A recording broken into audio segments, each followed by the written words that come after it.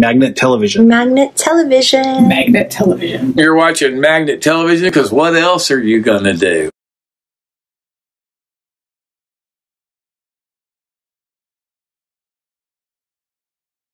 Hey everyone, this is Hey King, and this is a piano, and that's Tori Amos, and this is Cat Stevens, and this is a cat.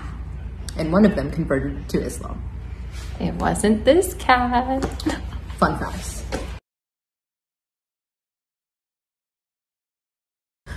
So, favorite Tori Amos song of all time?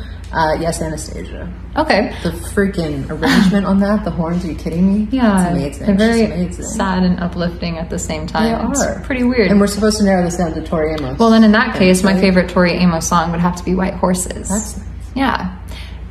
But, Generally yes, speaking, but generally no. speaking, favorite songs. Natalie, do you have some? Uh, I'd say like Edith Piaf's Je ne regrette rien. Ooh, that's a good That's a good choice. one. Plus, you feel like you're in the movie Inception, which is nice. So you're like, where am I?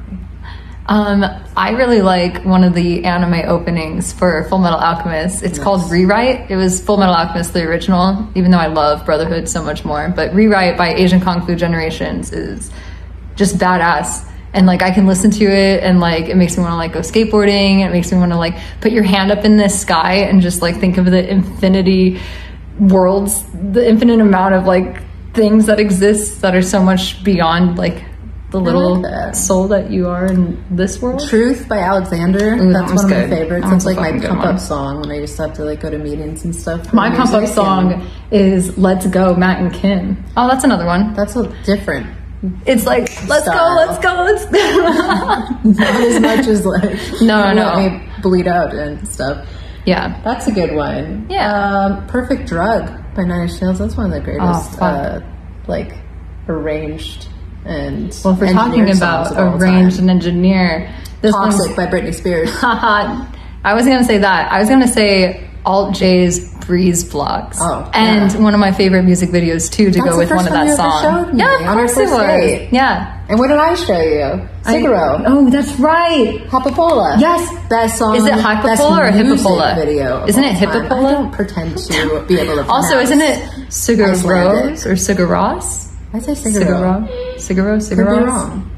Anyway. My dog's crying, so I'm probably pronouncing. it Probably wrong. pronouncing it wrong, the both of us. But those are just a few of some of our favorite songs. We definitely have a lot more. Um, but yeah, that's a little brief take of some of our songs. We'll go back songs. to the Tori Amos answers anyway. Awesome. Favorite Tori Amos album of all time? Definitely Boys for Pele. The Venus and Back was great. The live songs, amazing. That was awesome. Loved that album. Saw her in concert as a kid. Saw that concert in kid, well, uh, as a kid while she was uh, recording that thing. It was amazing. She made eye contact. Mm-hmm. Felt like I disappeared. I don't think that this is just about Tori Amos again. Favorite albums of all time? Yeah, Favorite just name album them. I think that we could just name a few, kind of like get it going, because mine are kind of weird. When it comes to listening to full albums, I have to say I prefer musicals a lot, oh, like a lot. Oh, shut up! I mean, yeah, whatever, theater kid. But my favorite album of all time to listen to from start to finish would have to be the musical soundtrack and score of Next to Normal.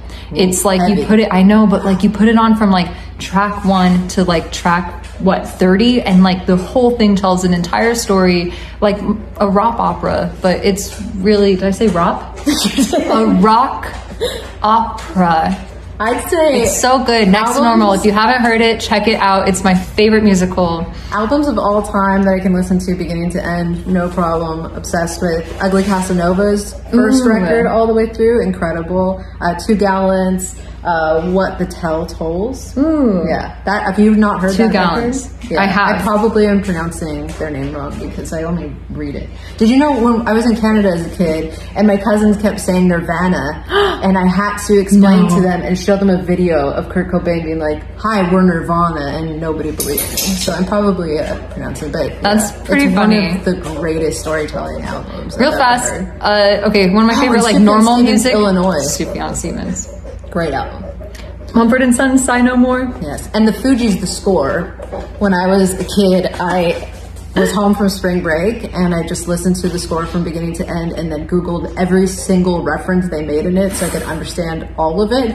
And I learned so much, so much. They're brilliant. Oh my god, I wish they'd get back together. Lauryn Hill, I love you so much, especially on Sister Act 2.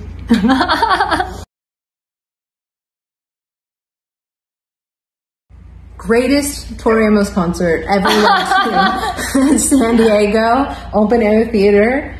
Uh, she forgot the words to Father Lucifer, and it was the cutest thing I ever saw in my life. She went, um, Father Lucifer, you never look so sane. I don't remember the words to this next part, so I'm just going to keep singing and playing along until I get to the chorus right now. Nothing's gonna stop. and we were all like, oh my god, that was the most human, adorable, vulnerable thing. These are all about Tori, right? no. Not about best concerts ever. I know it's really rough. Um, I would have to say I saw Front Bottoms live, and we were right up against That the railing, awesome. and it was you and me, and we we snuck like to the front of the line. Yes. and it was awesome, and it was epic. I mean, we definitely waited our fair share. But it was just really neat being able to like be all sneaky and get They in. were incredible They were so fun.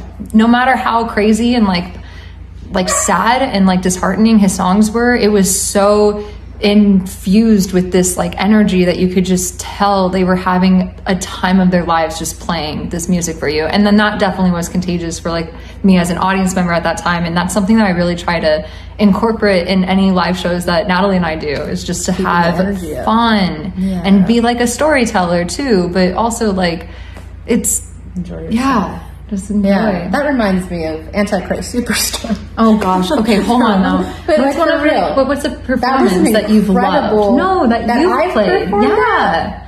Oh boy.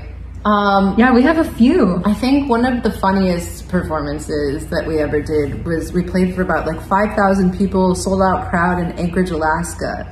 And it was amazing. And we were playing this song called Walk. Walk. And I started the Love song you. and I was like, hey, this next song's called Walk. And this girl in the front was like, did she just say guac? Is this song called guac? And so I stopped Like was guacamole? and I was like, hey, no, no, not not guac, walk. And she turned bright red and she's like, oh my god, they can hear me. Like, yeah, really we're- like, we're super screen. close. We're right here. And I see you. And uh, yeah. Yeah.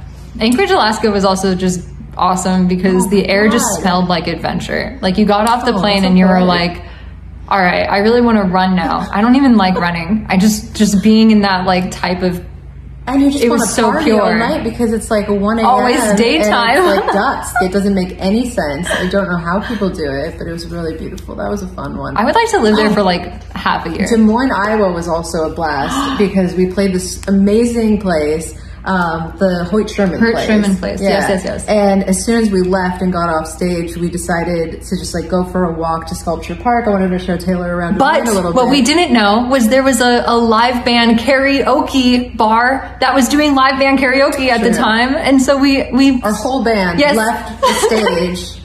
And as soon as intermission was done and we did our merch stuff, we left and uh, and did live karaoke down the road for like an hour. right next to Sculpture Park. Do you remember what you're saying? I think I rapped Eminem. I think you did too. I think I did Adele. You're amazing when you when you karaoke Adele. That or uh, Bette Midler. She has a nasty wind beneath my wings. This one. I can. It's no Tori Amos. but- Most embarrassing concert moment of all time, I'd say.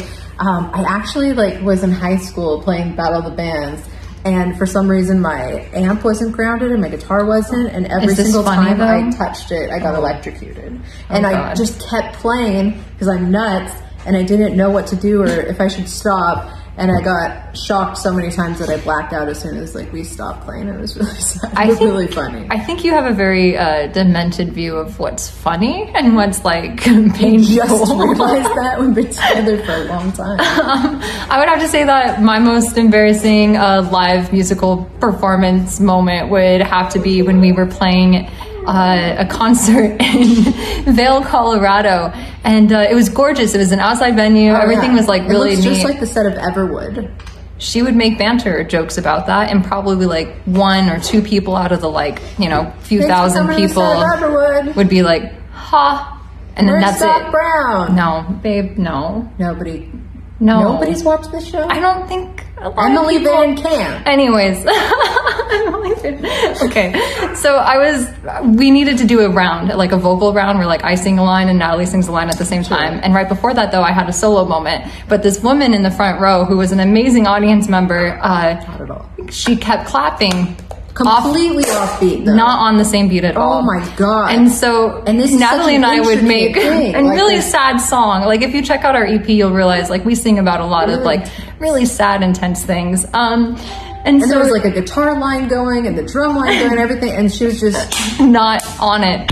It was this. It was it was kind of incredible. Oh my but God. I, I went up to the microphone and I just started laughing. So I pull myself away because I'm I'm I'm crying laughing at this moment, and it's a really intense sad song, and I'm laughing. And so I just turn around and I give Natalie like these this death stare, like you better sing this part. I'm so sorry, I can't. But she literally went to the mic and was like, "Nope," and just like did like a I did like a like a. I'm I'm out and I up outie. doing the exact same thing, and then our drummer just looked at us with death stare. like you guys better be on this. And Max, oh, he did. It he took, like, held it up. more rounds. Started Zach yeah. and like, so we they had to just loop. They just had to loop it until we were uh, composed enough to not just and finish laugh.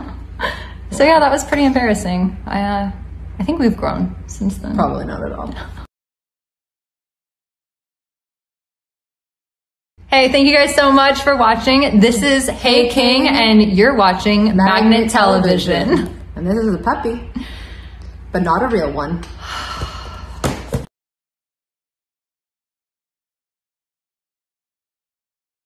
Cine.